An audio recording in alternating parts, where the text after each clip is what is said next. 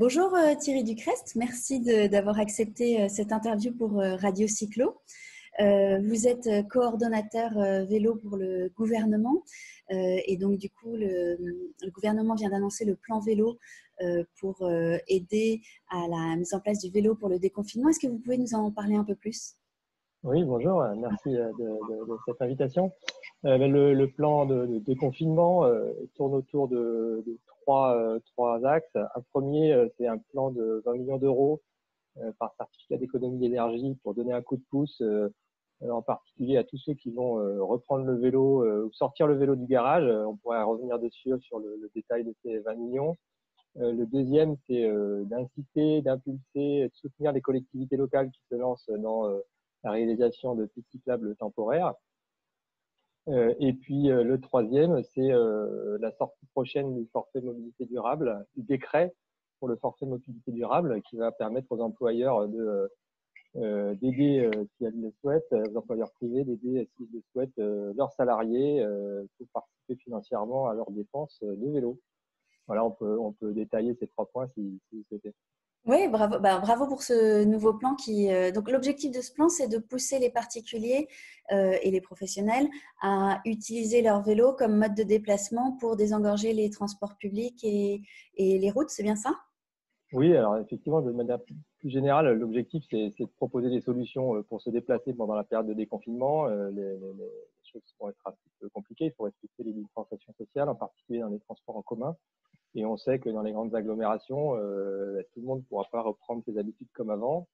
Et donc, il y a un certain nombre de mesures qui sont mises en place. Et l'une d'elles, c'est de tout faire pour euh, développer le vélo, parce qu'on sait euh, que le vélo est une vraie alternative pour les déplacements de moins de 5, 7, 10 km, euh, y compris pour aller au travail. Euh, on l'a vu euh, dans, dans, dans, une modalité un peu désagréable, mais on l'a vu pendant les grèves. Mmh. voilà, le vélo, c'est une vraie alternative pour plein de gens. et on le dit jamais assez deux tiers des déplacements, enfin 60% des déplacements euh, en France font moins de 60 km, font moins de 5 km. Donc euh, il y a de la marge pour le vélo. D'accord. Euh, et alors, donc, du coup, aujourd'hui, concrètement, je suis particulier, je ressors mon vélo de ma cave. Comment est-ce que je peux faire pour avoir droit à ce forfait réparation?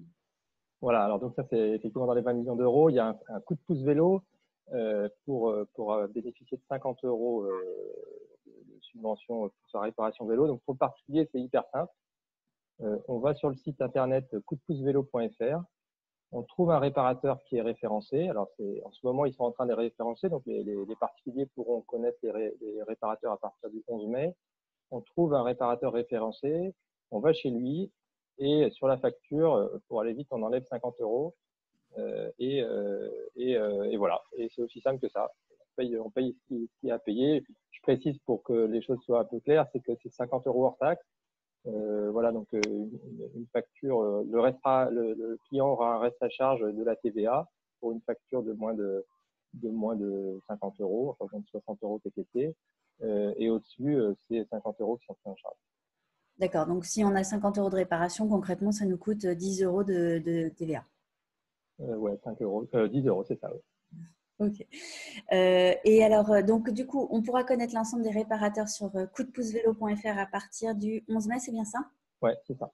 D'accord. Là, donc, c'est important de le préciser, c'est un projet qui est monté en partenariat avec la FUB, qui pilote du coup l'opération hein, dans le cadre des programmes Alvéole, qui était déjà un programme existant, mais qui est adapté à la circonstance. Mmh. et donc, la FUB, là, cette semaine, est en train de de référencer les, réparateurs qui peuvent s'enregistrer. Hein. donc, s'il y a des réparateurs qui nous écoutent, euh, voilà, ils peuvent se faire euh, référencer sur le, sur le site pour pouvoir ensuite proposer cette question à leurs clients. Et du coup, concrètement, pour le réparateur, est-ce qu'il y a des conditions euh, auxquelles il faut répondre pour pouvoir s'inscrire? Oui, il y a un petit dossier à remplir, mais qui est, très simple. Hein.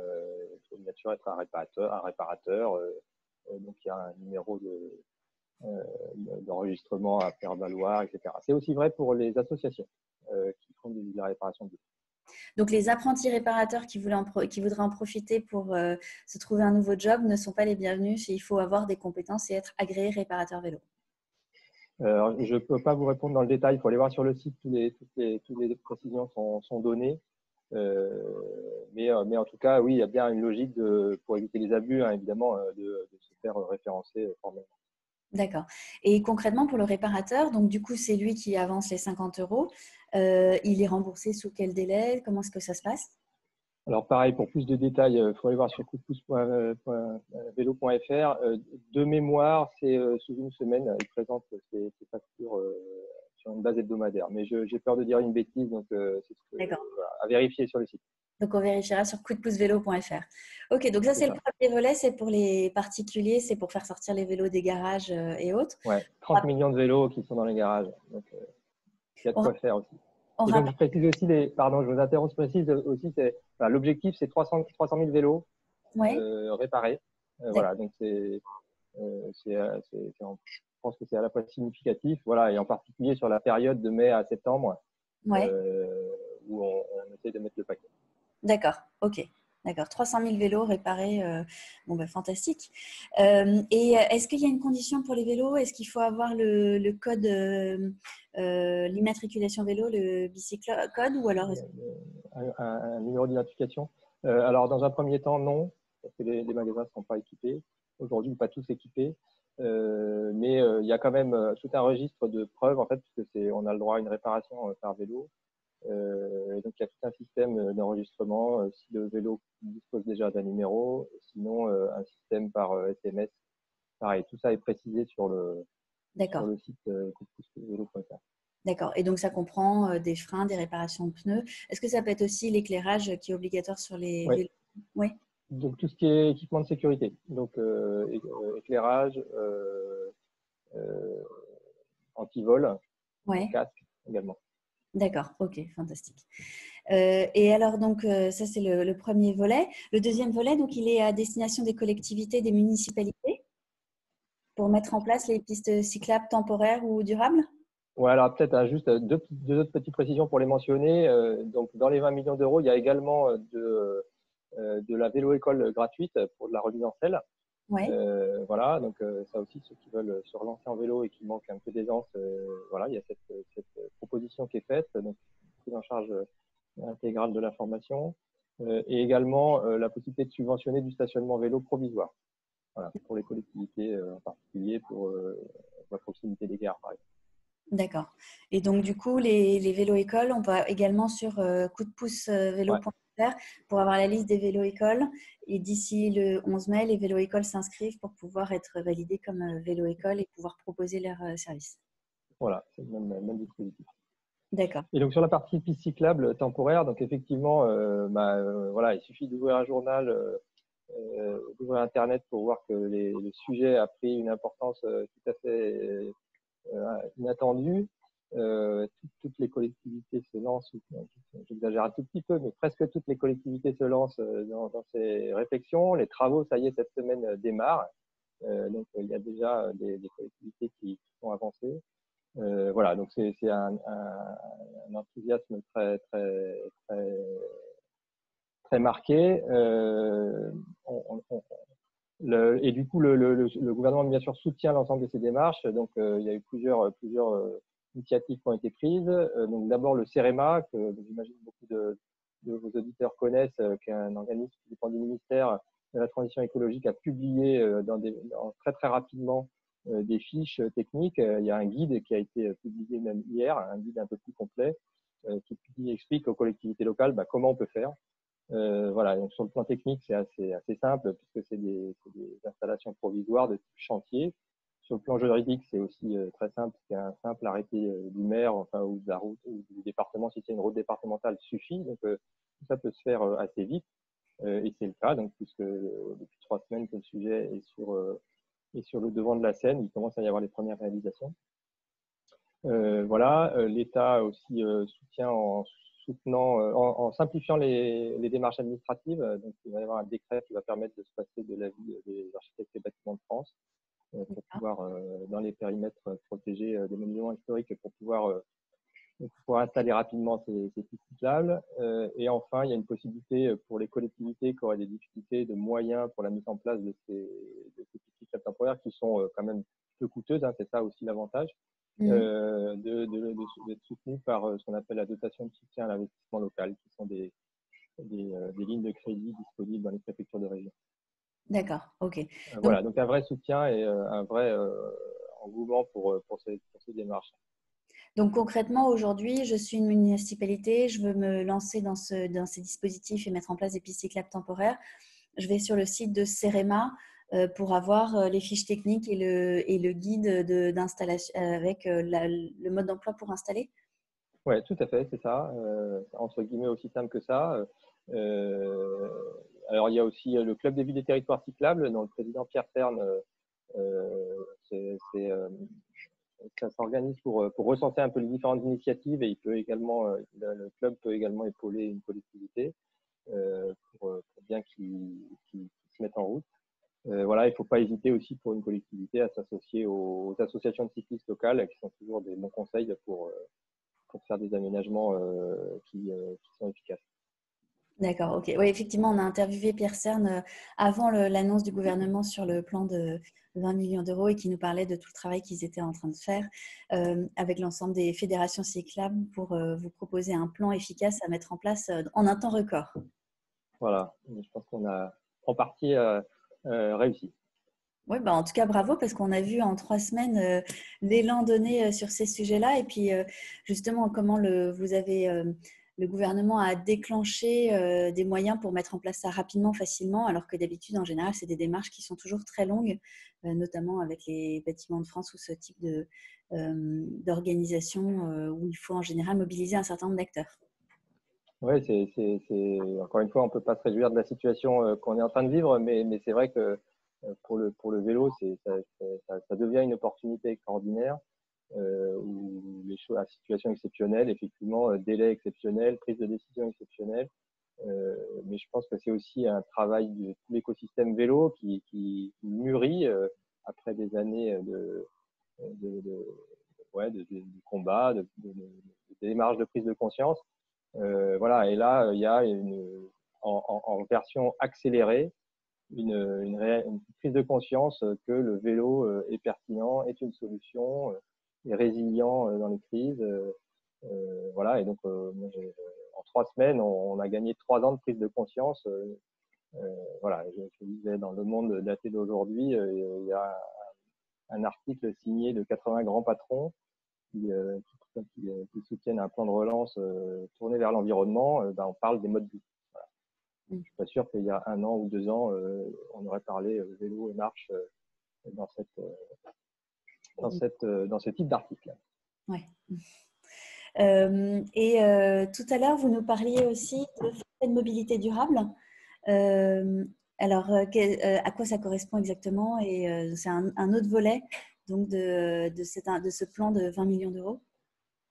Alors, dans C'est en plus, si je puis dire, enfin, c'est en plus, c'est pas à la charge de l'État. Donc, le principe, c'est 400 euros qui peuvent être versés à un salarié par un employeur euh, qui, euh, qui euh, souhaite le, proposer à ses, employés. Et ces 400 euros peuvent prendre en charge, enfin c'est jusqu'à 400 euros, ça peut prendre en charge des dépenses liées au vélo, au covoiturage ou à des véhicules partagés, de partage, trottinette électrique, etc. Et donc c'est une possibilité pour l'employeur de, pousser ses, équipes à venir à vélo euh, voilà, et donc euh, la sortie, l'apparition du décret qui rend la chose possible pour les employeurs euh, a été accélérée, donc va sortir aussi dans les jours qui viennent. Et donc à partir du 11 mai, les employeurs privés pourront proposer ça à leurs salariés et donc participer aussi de leur stratégie de déconfinement et inciter leur personnel à venir à vélo. Et donc, du coup, concrètement, pour un employeur, s'il souhaite le mettre en place, euh, à partir du 11 mai, il pourra proposer à ses salariés, à ses collaborateurs de prendre en charge 400 euros euh, d'achat d'un vélo, de réparation, de euh, formation. Oui, alors ce sera l'employeur qui décidera. C'est limité à 400 euros, mais tout ce qui touche au vélo ou encore une fois au covoiturage, c'est possible. Donc ce sera l'employeur qui décidera le format. Ça peut être quelque chose de forfaitaire, voilà, X euros par an pour quelqu'un qui vient à vélo suffisamment souvent. Ça pourra être des remboursements de factures comme, euh, comme vous venez de l'indiquer. Ça peut être euh, quelque chose de kilométrique. Enfin, tout est, tout est possible. C'est l'employeur qui a la main.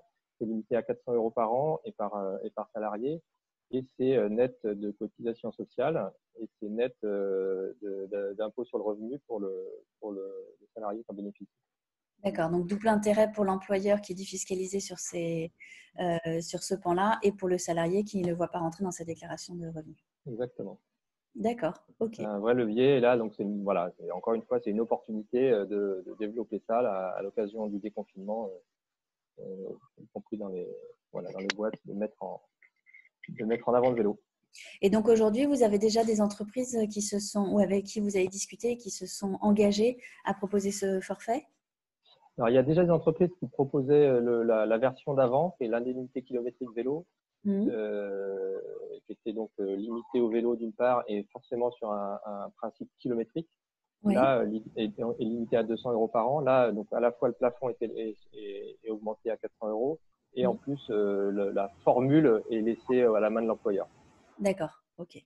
Et donc du coup, vous avez eu des discussions avec des organisations patronales là-dessus ou alors Préparatoire, oui. là, dans le dans le dans l'urgence, il n'y a pas eu de, recensement particulier, euh, mais, mais je pense que les choses vont bouger. Euh, donc, on incite les entreprises à, se mobiliser et à, communiquer auprès de leurs salariés pour proposer un forfait euh, de mobilité durable.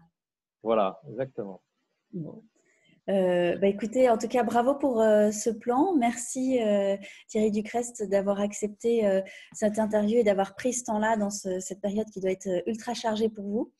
Euh, on est ravis à Radio Cyclo, en tout cas, de voir euh, que le vélo est en train de prendre la place qu'il peut prendre euh, avec les enjeux de déconfinement, de, distanciation sociale et de non-contamination entre Français et puis, et, puis sur le plan mondial. et puis on souhaite que chacun des acteurs puisse prendre euh, prendre part à ce, prendre part et grâce à ce plan euh, puisse passer au vélo. Que je pense que c'est important aussi de, dire que pour ceux qui n'osent pas prendre leur vélo, le vélo n'est pas dangereux et que ce dispositif va permettre à chacun de se sentir en sécurité pour rouler en vélo euh, au quotidien. Voilà, il faut se renseigner sur, localement sur les pistes cyclables qui vont être ouverts, les itinéraires longs qui vont être proposés. et c'est ouais, par occasion de s'y mettre. Et puis souvent, le vélo, l'essayer, c'est l'adopter. Et vous, personnellement, vous roulez en vélo pour aller, alors peut-être en ce moment euh, moins, mais quand vous vous déplacez pour aller euh, au ministère, vous, utilisez le vélo? Alors, comme vous le voyez, là, je télétravail, effectivement, je ne suis pas au bureau. Euh, mon bureau est un peu loin de chez moi, je dépasse les 10 km. j'ai déjà fait à vélo, mais pas quotidiennement.